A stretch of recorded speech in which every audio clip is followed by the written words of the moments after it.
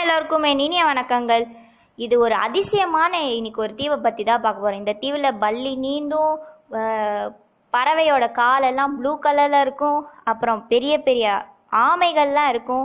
அது மட்டும் இல்லாமல் இந்த தீவுக்கு பின்னாடி நிறைய ஹிஸ்ட்ரிஸ் இருக்குது இது நம்ம பூமியோட சிறப்பான தீவு அப்படின்னு நிறைய ஆராய்ச்சியாளர்கள் சொல்கிறாங்க அந்த தீவு கலாபகஸ் தீவு. இந்த தீவு வந்து ஒரு அறியப்படாத மர்மமான ஒரு தீவு தாங்க இந்த தீவு பெசிபிக் கடலில் எக்வாடருக்கு மேற்கே தொள்ளாயிரத்தி அறுபத்தஞ்சு கிலோமீட்டர் தூரத்தில் இருக்கிற ஒரு அதிசய தீவு தான் ஏன்னா சார்லஸ் ராபர்ட் ட- டார்வினையே இந்த தீவு வந்து பார்த்து வியந்து போயிருக்கிறாருன்னா அப்போ பார்த்துக்கோங்க. யார் இந்த சார்லஸ் ராபர்ட் டார்வின் தானே கேட்குறீங்க இவர் ஒரு ஆங்கிலேய இயற்கையில் அறிஞர். இவர் பிப்ரவரி பன்னிரெண்டு ஆயிரத்தி எட்நூற்றி ஒம்போதில் ச்ரூஸ்பெரி அப்படின்ற இடத்துல பிறந்திருக்கிறாரு. அவரோட அப்பா ராபர்ட் டார்வின்.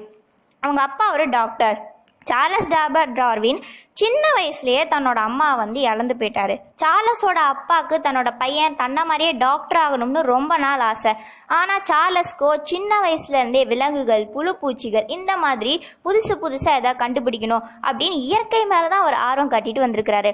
ஆனால் சார்லஸோட அப்பாவோ தன்னை போல டாக்டர் ஆகணும்னு நினச்சிட்டு எடின் பேரோ பல்கலைக்கழகத்தில் சார்லஸை சேர்த்து விட்டுட்டாரு. ஆனால் இயற்கை துறையிலையும் நிலவியல் துறையிலையும் ஒரு சிறந்த மாணவராக இருந்த சார்லஸ்க்கு மருத்துவத்து மேலே சுத்தமாக ஆர்வமே கிடையாது. அவருக்கு பிடிக்கல. ஏன்னா மருத்துவம் படிச்சுட்டு இருந்தப்போ ஒரு குழந்தைக்கு அறுவை சிகிச்சை செய்கிறத பார்க்க வேண்டிய கட்டாயம். அந்த காலத்துலலாம் மயக்க மருந்து இல்லாமல் தான் அறுவை சிகிச்சை செய்வாங்க. அந்த குழந்தைக்கும் அப்படி தான் பண்ணாங்க. அந்த குழந்தை பட்ட வேதனையை அவரால் பார்க்க முடியல. குழந்தை ரொம்ப கதறி அழுததுனால அவருக்கு மருத்துவராகவே கூடாது அப்படின்னு ஒரு முடிவை பண்ணிட்டாரு. அவர் அப்பா ரொம்ப வருத்தப்பட்டு தன்னோட பையனோட ஆசையை நிறைவேற்றுற மாதிரி அடுத்து சார்லஸை இறையியல் படிக்க ஒரு அறிவுரை கூறினார். அதை சார்லஸும் சரி அப்படின்னு சொல்லிட்டு அவங்க அப்பா சார்லஸோட அப்பா வந்து கேம்பிரிட்ஜ் பல்கலைக்கழகத்தில் சேர்த்து விட்டுட்டாரு. படிப்பில் சிறந்து விளங்கிய சார்லஸோட ஆர்வம் எல்லாம் உயிரினங்களோட தோற்றம் பற்றிய சிந்தனையிலேயே இருந்துச்சு. சார்லஸ் தன்னோட இருபத்தி ரெண்டு வயசில் இறையியல் பட்டம் வந்து வாங்கிட்டாரு.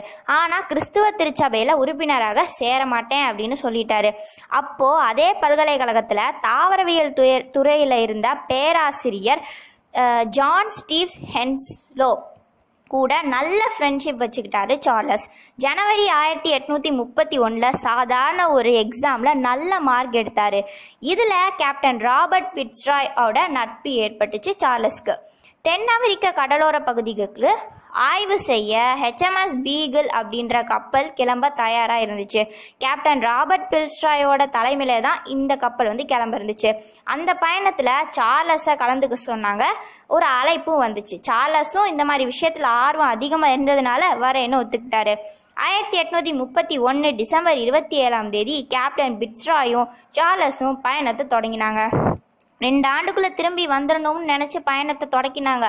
ஆனால் அஞ்சு வருஷம் ஆகிடுச்சு இந்த அஞ்சு வருஷத்தில் வ வரலாற்றிலே சிறப்பு வாய்ந்த விஷயங்களை இவங்க கண்டுபிடிச்சிருக்கிறாங்க. இந்த அஞ்சு வருஷத்தில் உலகத்திலேயே ஒரு வளம் வந்திருக்காங்கன்னு தான் சொல்லணும்.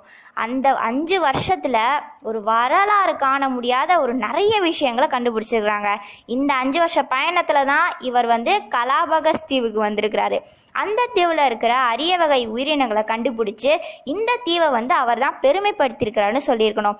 இந்த கலாபகஸ் தீவு அதிக வெப்பமான பகுதியில் அமைஞ்சிருக்கிறதால இந்த தீவில் அடிக்கடி எரிமலை வெடித்து கொண்டே இருக்குமா.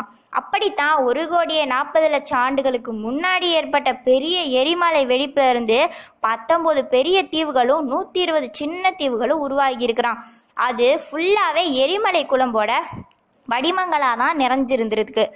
அதுக்கப்புறம் காற்றும் மழையும் அதை செழிப்பான மண்ணாக மாற்றிருக்கு மண்ணில் அப்படியே சின்ன சின்ன பாக்டீரியா உருவாகி அதுக்கப்புறம் காற்றும் கடலும் மலையும் வெயிலும் சேர்ந்து அங்கே சின்ன சின்ன செடிகளை உருவாக்கி ஒரு புதிய உயிர் சூழலை உருவாக்கியிருக்காங்க. இப்படித்தான் கலாபகஸ் தீவு உருவாகியிருக்கும்னு பல ஆராய்ச்சியாளர்கள் வந்து சொல்றாங்க. எரிமலைகள் இந்த தீவில் அதிகமாக இருக்கிறதுனால கிழக்கு பகுதி அதிகமாக வெப்பமாக இருக்குமா? அதே சமயம் மேற்கு பகுதி வந்துட்டு குளிர்ந்த நிலையில இருக்குமா?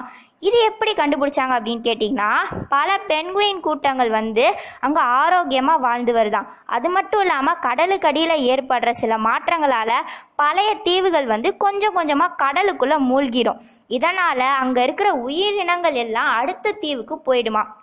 அந்த தீவில் இருக்கிற எல்லா விலங்குகளும் ரொம்ப வித்தியாசமாகவும் புத்திசாலியாகவும் இருக்குதை கண்டுபிடிச்சிருக்கிறாங்க.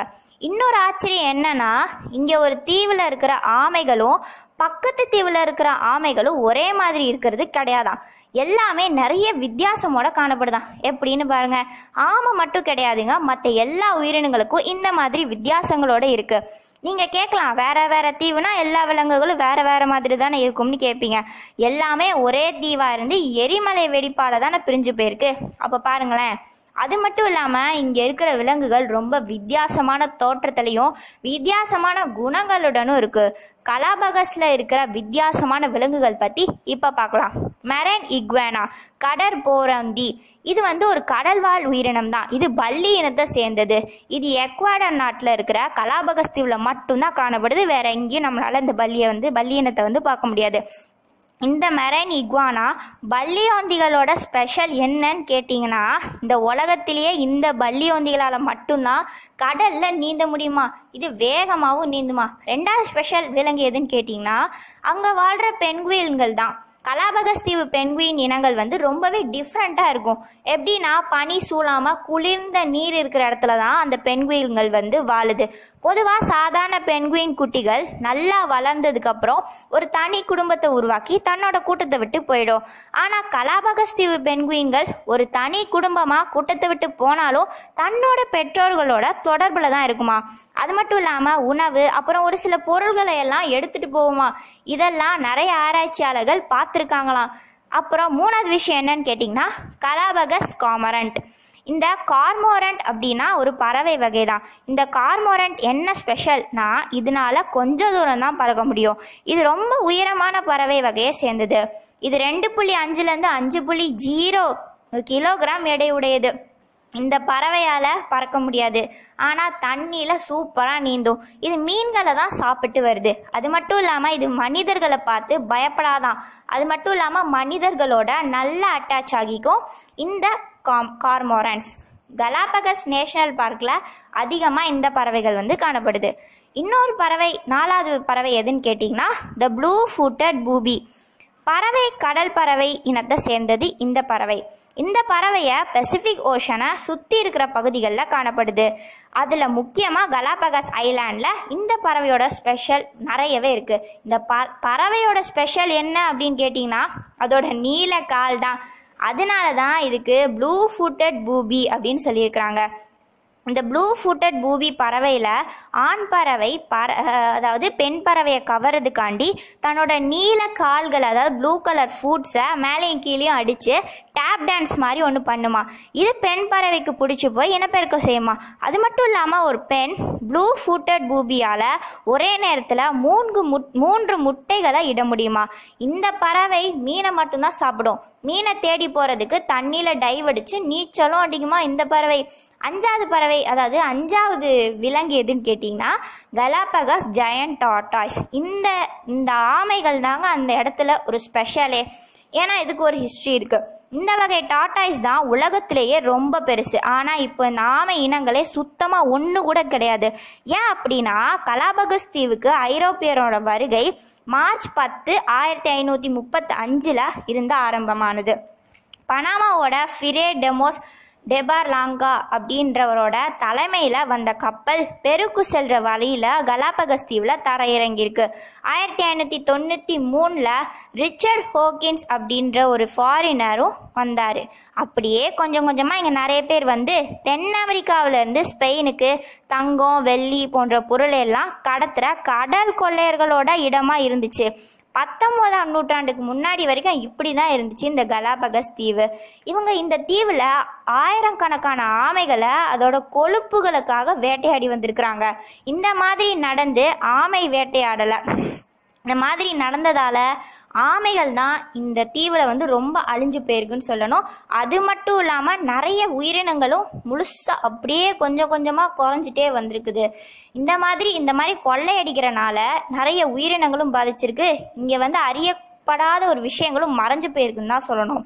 அதுக்கப்புறம் கலாபகஸ் தீவுகளை பிப்ரவரி பன்னெண்டு ஆயிரத்தி எட்நூற்றி முப்பத்தி ரெண்டில் தன்னோட எக்வாடருக்கு எக்வாடர் வந்து தன்னோட ஒரு இடத்துக்குள்ளே சேர்த்துக்குச்சு.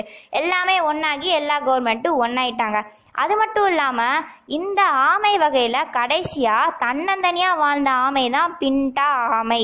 இந்த பின்டா ஆமைக்கு ஜார்ஜ் அப்படின்னு பெயர் வச்சாங்க ஆராய்ச்சியாளர்கள். இந்த ஆமை தன்னோட நூறாவது வயசில் ஜூன் இருபத்தி நாலு ரெண்டாயிரத்தி பன்னிரெண்டில் இறந்து போச்சு.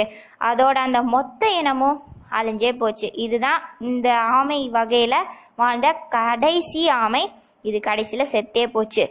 கலாபகஸ் தீவு கூட்டத்தோட மிக பழமையான தீவோட பேர் தான் எஸ் பனோலா இது மூணு புள்ளி அஞ்சு மில்லியன் வருஷம் பழமையானதான்.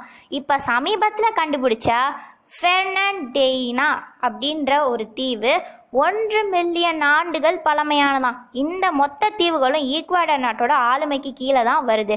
இந்த அழகான அதிசயமான தனித்துவமான தீவு கூட்டத்தை பாதுகாக்க ஈக்வாடர் அரசு ரொம்ப முயற்சி எடுத்துட்டு தான் வந்துட்டு இருக்கிறாங்க ஆராய்ச்சியாளர்களுக்கு மட்டும்தான் இந்த தீவுக்கு வர அனுமதி. அது மட்டும் இல்லாமல் நிறைய கட்டுப்பாடுகள் ஆராய்ச்சியாளர்களுக்கும் இருக்குது கலாபகஸோட முதல் கவர்னர் ஜெனரல் யாருன்னா ஜோசே டே வில்லாமில். இவர் இவர் தான் அங்கே வந்து ஃபஸ்ட்டு ஃபஸ்ட்டு ஒரு கவர்னர் ஜென்ரல் ஆனார். அங்கே அந்த கலாபகஸ் தீவில் அவர் வந்து சிறை கைதிகளை வந்து விட்டுருக்கிறாரு. ஆயிரத்தி எட்நூற்றி முப்பத்தி ரெண்டில் பல விவசாயிகள் வந்து இந்த தீவுக்கு வந்து குடியேறினாங்க குடியேறினாங்க.